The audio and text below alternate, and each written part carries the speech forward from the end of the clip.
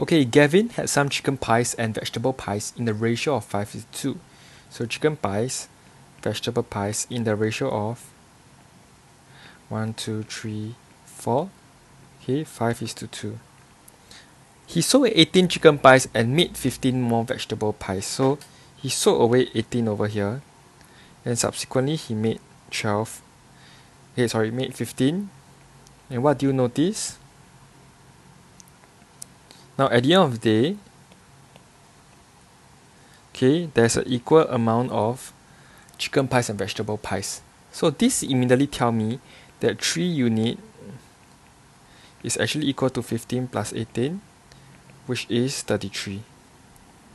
Okay, so how many units, okay, of vegetable pies did he have at first? So we know that step 1, we go and find out 1 unit, okay, and that's 11 first. Subsequently, number of vegetable pies that will be 11 times 2 plus 15 giving us okay giving us oh at first that will just be 11 times 2 giving us 22 pies. Okay so that is the solution for this question